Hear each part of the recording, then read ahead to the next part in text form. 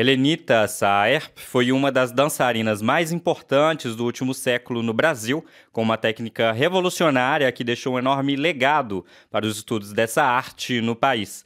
A RFI convida hoje André Maier, professor da Universidade Federal do Rio de Janeiro e roteirista do filme Dançar, que conta a história dessa grande artista e que será exibido em Paris, na Maison da América Latina. E também Eloá Chenye, pesquisadora em dança, segundo a metodologia de Helenita. Boa tarde, André, e boa tarde, Eloá. Boa tarde. Primeiramente, eu gostaria de agradecer o convite da RFI, agradecer ao André por também ter aceitado participar do evento hoje à noite e ao Centro Cultural do Brasil, que abraçou o projeto e que espero que a gente faça outros cinedons sobre outras pessoas, sobre outros temas da dança. Muito obrigada. Obrigado, Marcos. É uma grande alegria estar aqui para falar sobre essa exibição é, que acontecerá hoje do filme Dançar.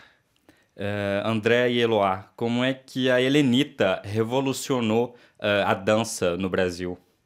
É, a Helenita é uma figura-chave para o processo de é, é, desenvolvimento da dança em nosso país.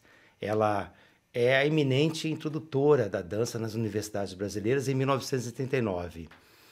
Ela, a partir desse momento, ela entra na universidade e começa a desenvolver uma série de pesquisas com, é, é, na dança sobre processos de ensino e criação para que as práticas corporais a pesquisa do movimento pudesse é, estar sempre num processo de transformação, de renovação.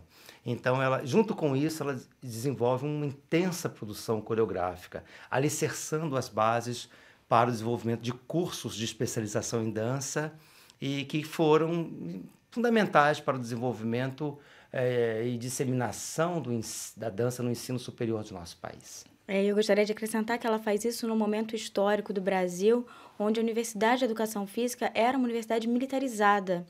E é muito pioneirismo colocar arte dentro de um campo que tem essas, é, esses limites rígidos do corpo, né? onde a gente não pode ter muito espaço para fazer o que seja fora do determinado. E ela vem exatamente propondo isso, propondo que a gente crie com o corpo. Inicialmente era somente para mulheres, mas depois de um tempo, quando não há mais a divisão de turmas masculinas e femininas, ela começa a dar aula também de dança para os homens. E eu acho que isso é, é, é, bastante interessante no ponto de vista do nosso processo histórico brasileiro, porque é uma vanguardista, é, é de uma vanguarda enorme. Uhum. O fato de ter sido uma escola militarizada uh, foi, um, foi um obstáculo para a técnica dela ou foi, na verdade, um incentivo para fazer uma, uma forma de subversão com, com aqueles alunos do, do de, de uma escola militarizada?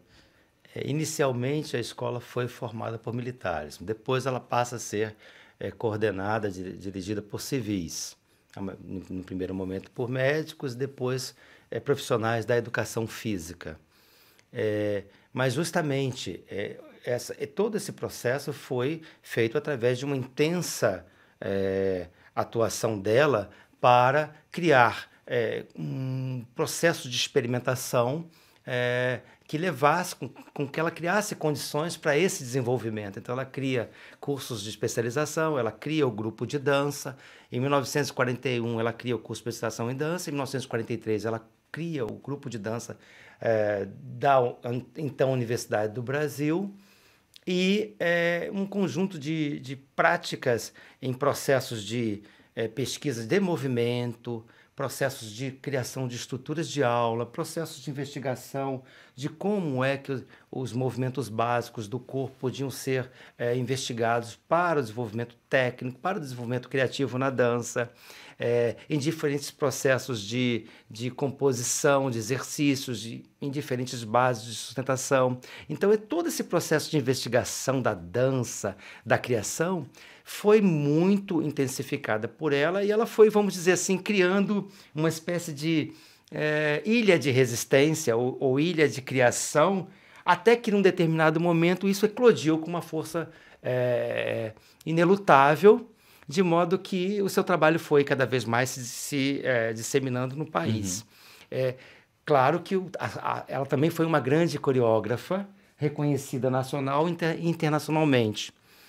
Ela é, em 1950 e no início da década dos anos 50, ela, ela é convidada para uma turnê em, em 26 universidades americanas com um programa de dança variadíssimo que tinha a dança contemporânea, a dança abstrata, temas do folclore.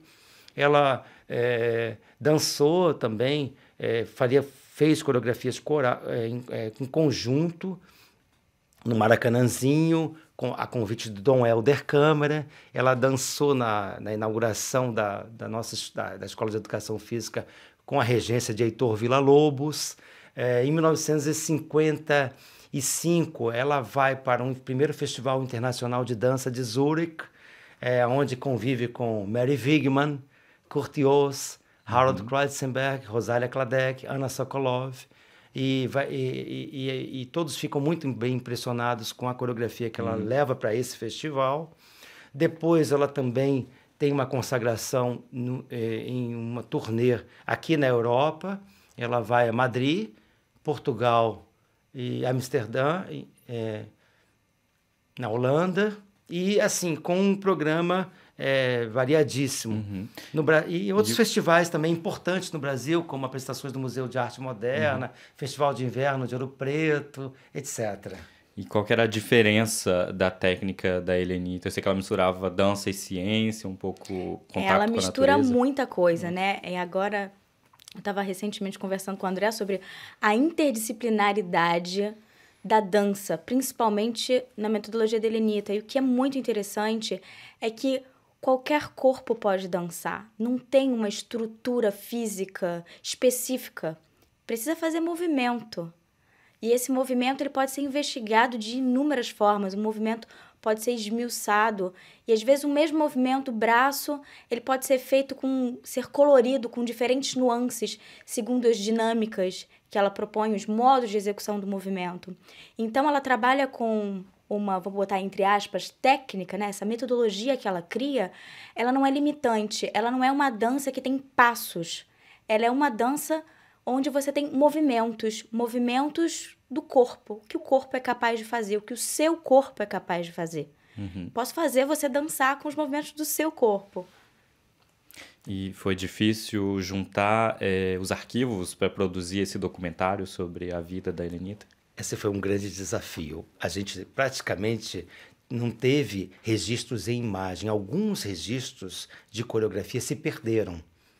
É, os arquivos pessoais filmados se perderam. Arquivos que eu procurei na TVE, no Brasil, no Rio de Janeiro, principalmente uma coreografia chamada Jesus, a Alegria dos Homens, que foi televisionada durante vários períodos das épocas natalinas pela TVE no Brasil, se perderam num incêndio. Então, os próprios arquivos é, fora do país, é, nas universidades onde ela passou, eu consegui arquivos é, em imagem, mas não em movimento. Então, isso também, por outro lado, foi muito interessante para a roteirização do filme, porque nos levou a estabelecer um bloco no filme em que a gente reconstruiu temas coreográficos que Uma ela fotografia belíssima do Rio de Janeiro como cenário. Em várias locações externas. Então, o bloco coreográfico no filme são recriações de temas que foram por ela investigados na, na, no seu repertório coreográfico. Com alunos e professores. O que eu acho que é bastante interessante, porque acho que foi uma oportunidade incrível para os alunos da época que o filme foi feito, que já tem um tempinho, né? é, de, de participar dessa criação e de, de experimentar a, pro, a, a própria vivência deles na, na universidade, o que eles estavam aprendendo, colocar isso na prática numa obra coreográfica que foi uma remontagem, uma releitura do que a Elenita nos deixou. Uhum. Foi muito interessante você falar nessa, nessa investigação ampla do corpo, porque esse realmente é o diferencial da, do trabalho dela. É que você tem assim o corpo como fonte de um eclodir de possibilidades. Então, a, a partir, claro, de um estudo, de uma investigação, de toda uma sistematização, mas de princípios e de conexões abertas na dança, o que a conecta, vamos dizer, com um pensamento assim que está é, numa linha é, assim, não linear, né? uma sistemática não linear e aberta na dança, no pensamento para a dança, no pensamento contemporâneo. Tá certo. A RFI conversou hoje com André Maier e Eloá Chenier. Muito obrigado. Muito obrigada a você obrigado também. também, Marcos.